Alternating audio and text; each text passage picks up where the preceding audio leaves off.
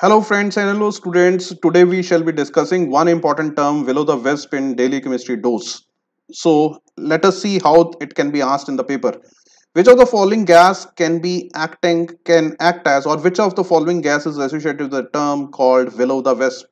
So this is the term will-o'-the-wisp. So directly it is a factual question. Now let us understand what exactly it is. This particular term will-o'-the-wisp is also being used in English at times as IDOM where it simply would mean that something which is impossible to achieve or to get or when you are striving something striving very hard for something and you are feeling that it is not achievable we use this type of a phrase.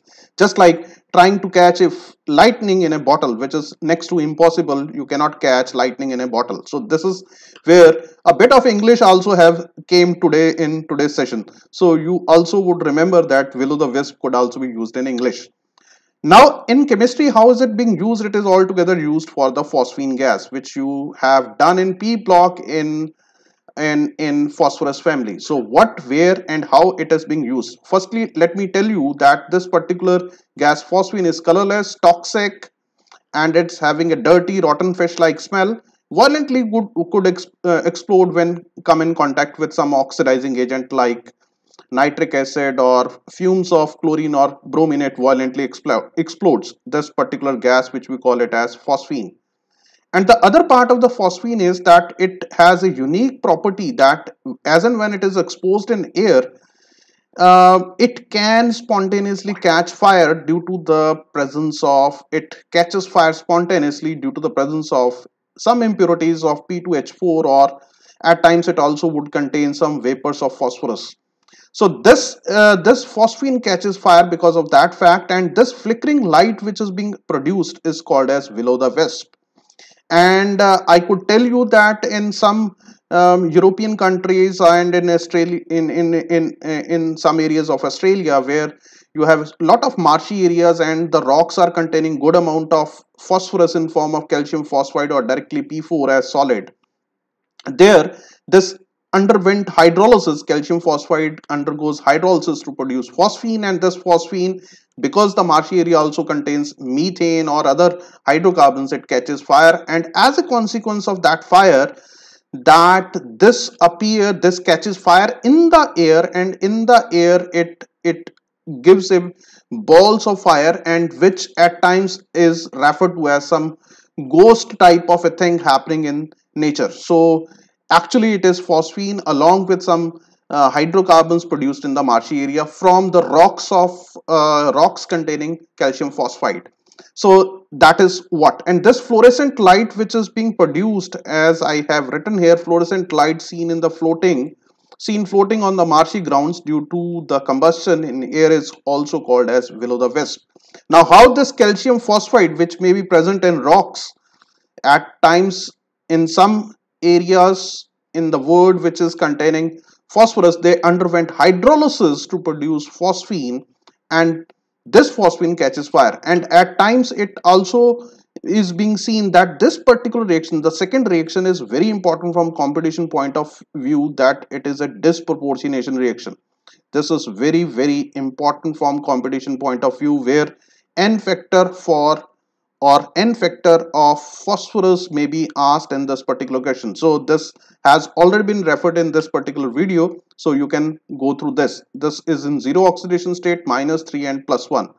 So a little bit of storytelling and theory of inorganic would mix up get mixed up with the conceptual aspect where disproportionation reactions n factor can be asked. So this way you can remember the things for a longer duration of time. And one more thing I can tell you here that this particular gas is also associated with a term called as Holmes signal. So this also is a very important term which is being used along with it that when in the sea, in the sea when some ship underwent some sort of a distress or a ship, if I say this has to be ship which is under some distress or it has in old days it has some some uh, for uh, it it lost its path from the original direction. Then they start throwing out into the water the boxes of boxes having a opening boxes containing calcium carbide and calcium phosphide calcium phosphide. These two ingredients these would undergo hydrolysis.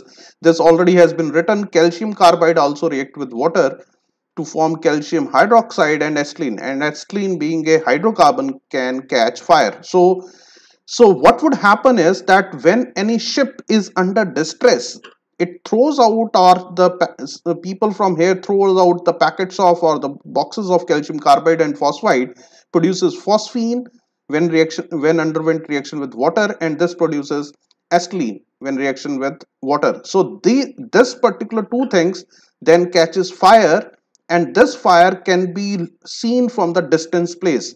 So once this act or this used to serve as an um, signal in old days nowadays there is altogether satellite communication happening. And if you have ever seen a uh, english movie titanic in that also that sort of thing is there. Some scenes are there where they tend to throw out these uh, uh, boxes and the water catches fire. So this fire then act as a signal for distant uh, coming ships that this particular ship is under distress or it has lost or path or it is just sinking.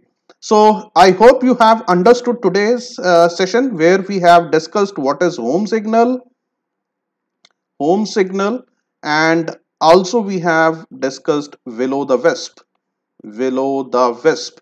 And along with it we also have learnt a bit of english also in today's session that how that phrase can be used as will the wisp. Thanks a lot. Have a nice day and stay safe and stay connected. Hope you have enjoyed today's session. A little bit of storytelling within organic will make it more interesting and it will would would retain it would increase the assimilation as well as retention of a child. Thanks a lot. Have a nice day.